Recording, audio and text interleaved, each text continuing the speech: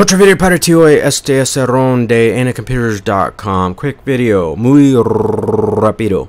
Windows 10 file associations, once in a while they get fucked up, but that's not out of the abnormality. Windows is classic for file associations getting fucked up, mucked up, whatever you want to refer to it. You might be able to use these instructions as a basis point on Windows 8.1. Windows 8 8.1 is quite similar to Windows 10, but fucking Windows 10 has two two menus now, two control panels. Just okay.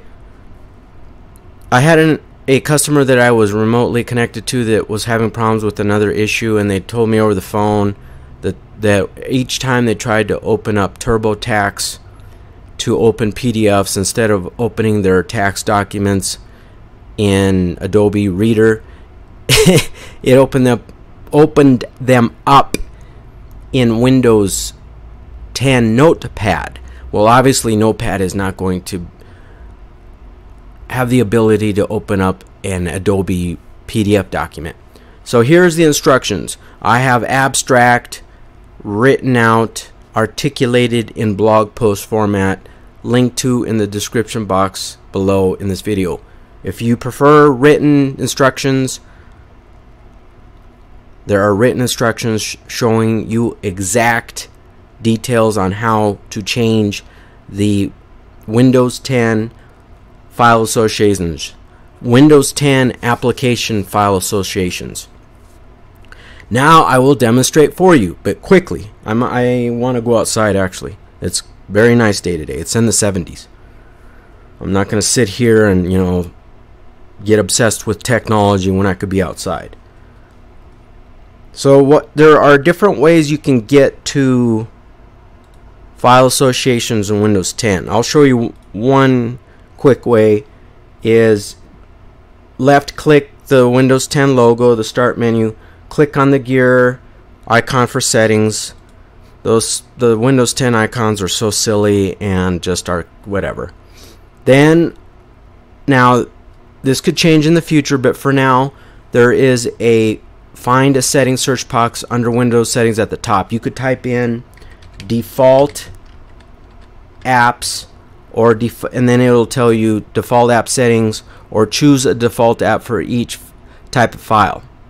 Choose default apps associated with each program. So you've got three different choi- choices that'll probably most likely take you to the same place.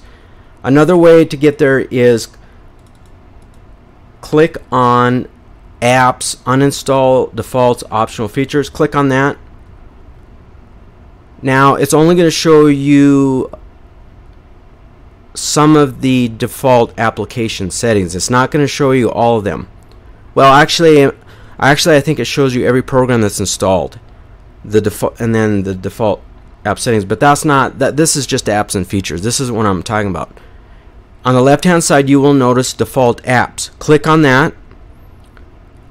Now it only shows you a few of the default apps. Not every application you you know is viewable. If you scroll down to the bottom, click on choose default apps by file type. It takes a while to load this because this is Windows 10's database it will eventually list every single file type, every single file extension that is compatible with Windows 10 on the left hand side. It sorts it alphabetically. You can scroll with your scroll mouse or you can go here to the menu bar on the right hand side, the scroll, and left click your mouse and, and then move it faster. You see, you notice how every single application extension is that Windows 10 supports is listed. Now you'll notice that some of these stipulate choose a default with a plus sign. That just means that either that file extension does not have a program associated with it or there is no program installed that is associatable. So this is you don't need to worry about this. Now, as an example, we're going to change the association for PDF since that's what I fixed for my customer. scroll down now as you can see it's already set but let's say hypothetically we can do PDB above it you just click on choose a default and then there is no app that could be a, like I just told you one reason why it says choose a default is because there is no applications installed that are associatable. We can click on PDF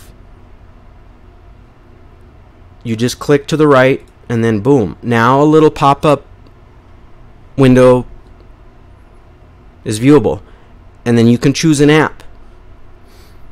And whichever app you choose now it will be set as default. So I'm just gonna go through hypothetically and act as if this was wrong this was notepad you can also click for an app in the store or Microsoft Edge we'll just choose Adobe Acrobat Reader and then boom that's it that's all you have to do you do not have to do anything further. You don't have to scroll down and look for a save button or there is no save button. That's it. That's all you have to do to change Windows 10 file associations for programs and the extension. If you do not know what an extension is, it's er everything after the dot. So dot .pdf, dot .xls, dot .doc, dot htm dot html the list dot the list goes on and on and on so they are listed the extension is always listed on the left hand side and then the application that you associate for that extension is on the right hand side now and I fixed it for my customer now every time that a PDF document now this also works for Windows Explorer this is for the entire operating system, hence the title of the blog post Windows 10 File Associations. I guess I, you know what, I should probably re. I need to edit that that title. I should put Windows 10 File Associations, how to change them instructions or how to change instructions. That I think would be better, a better search engine optimized title so I get more clicks. So these are all the extensions. So once you set it here, it doesn't matter where on Windows 10. If it's in File Explorer or in My Computer or My Documents, you let's say you have a PDF tax document in your My Documents your documents folder and you double click on it, it will automatically open that PDF, that specific tax document PDF in Adobe Acrobat Reader. And also, let's say you're using a second application, you're using a third party application to open that PDF. Come on, my stupid condenser mic is now. Oh, there it goes. Like, let's say TurboTax. It will then correctly automatically open that tax document PDF in Adobe Acrobat Reader instead of Notepad.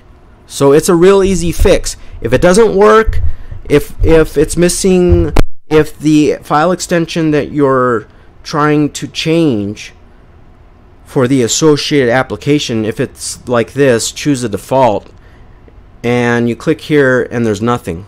Well, you're going to have to download a program and install a program. So that's not unusual. Now, it is possible, it is possible that malware Malware will fuck up your computer. Malware, viruses, spyware will fuck up your Windows 10 file associations. So if you follow my instructions and you changed it successfully and it even is now instead of Notepad, it, it is correctly Adobe Acrobat Reader. And when you go through TurboTax and it still opens it up in Notepad, it could be malware, spyware, eh, viruses. I'm not saying it's 100%. You might want to clean up your temp files. You know, use a program like CCleaner. But it should work. It should work. You should be able to. Uh, or it could be that Windows is corrupted, you know, SFC scans, check disk. But if you follow my instructions, you should be able to change the file associations for Windows 10. And as you can see, I mean, the, the list goes on and on and on. That's all you have to do. Let me show you another way to get into this menu. Let's see, let me make sure this is selected. I showed you, you know, whoops, left clicking, boom. boom default if I can spell.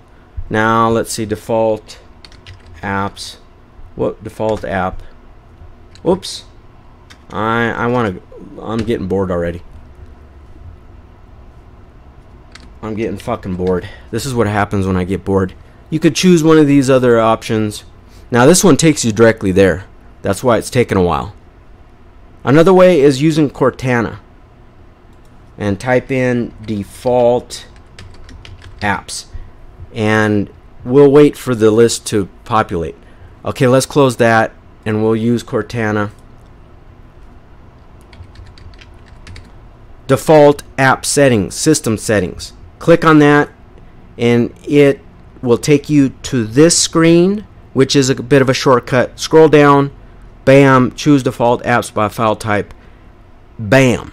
It's gonna have to re I'm assuming it goes through the Windows registry and that's why it takes a while to fucking load. But there's quite look at how many file type extension associations there are available for Windows 10 there's another option I noticed. Default you can choose default apps by protocol. We can look at that list really quick. And then I need to run Okay, well, protocol. Alright, you might not want to fuck with this, but this is another way. Well, it doesn't look like you can mess with anything on the left-hand side. This is just another way that you can change your default app if you need to. FTP may be your FTP, yeah, FTP file transfer protocol. Okay, I get it now. This is networking. I'm getting an email. This is networking protocols. Th these could get fucked up for your email or your, your web browsers, your FTP program, file transfer protocol. What else? I don't give a shit about Xbox.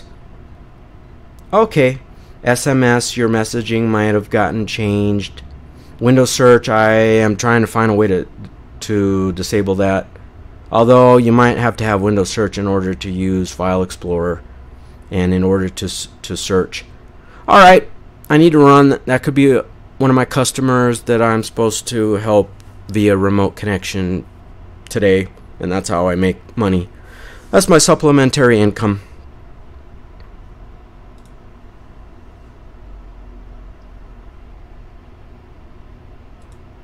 Adios.